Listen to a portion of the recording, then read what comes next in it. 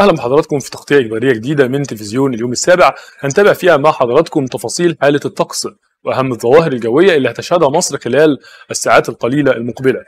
بتتوقع هيئة الارصاد الجوية أن يشهد غدا الخميس استمرار ارتفاع رطوبة نسبية على مدار اليوم يزيد من الإحساس بارتفاع درجات الحرارة بقيم تتراوح من 2 ل 4 درجات. ليكون الإحساس بالطقس شديد الحرارة نهارا على القاهرة الكبرى والوجه البحري وجنوب سيناء وجنوب الصعيد.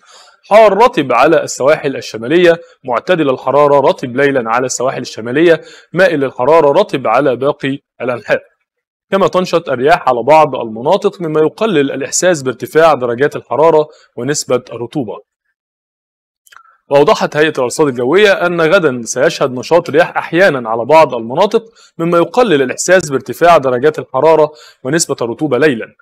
كما يشهد الخميس شبورة مائية صباحا على بعض الطرق المؤدية من وإلى القاهرة الكبرى والوجه البحري والسواحل الشمالية ومدن القناة ووسط سيناء وشمال الصعيد. أما بالنسبة لدرجات الحرارة المتوقعة الخميس القاهرة العظمى 34 درجة والصغرى 25 درجة الإسكندرية العظمى 31 والصغرى 24 درجة ومطروح العظمى 30 درجة والصغرى 24 درجة وسوهاج العظمى 38 درجة والصغرى 27 درجة وقنا العظمى 41 درجة والصغرى 28 درجة وأسوان العظمى 42 درجة والصغرى 29 درجة.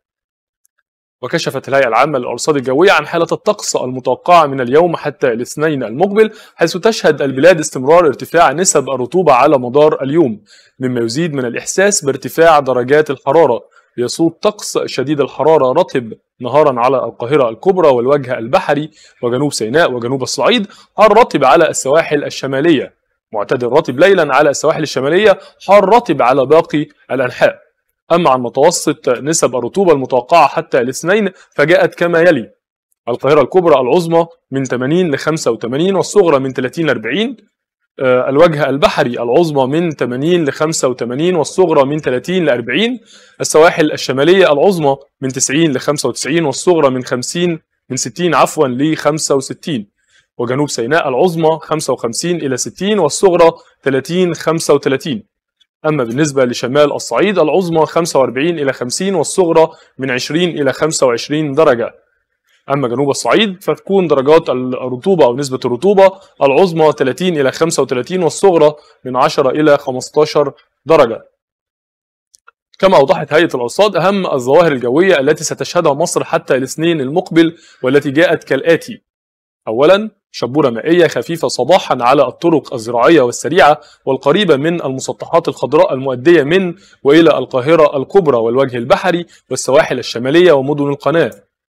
ارتفاع في نسب الرطوبة نظرا لامتداد منخفض الهند الموسمي على معظم الأنحاء. إلى جانب ارتفاع نسب الرطوبة نهارا مما يزيد من الإحساس بحرارة الطقس عن المتوقع في الظل بقيم تتراوح من 2 إلى 4 درجات مئوية. ونصحت هيئة الهيئة العامة للأرصاد الجوية المواطنين بعدم التعرض المباشر لأشعة الشمس لأن ذلك سيؤدي إلى الشعور بارتفاع درجات الحرارة عن المعتاد. إلى جانب وجود نشاط للرياح على بعض المناطق من القاهرة الكبرى والوجه البحري والسواحل الغربية وأيضا جنوب سيناء وجنوب البلاد على فترات متقطعة. وإلى هنا نكون قد وصلنا إلى نهاية تغطيتنا. بنشكركم على حسن المتابعة. وإلى اللقاء في تغطيات جديدة من تلفزيون اليوم السابع.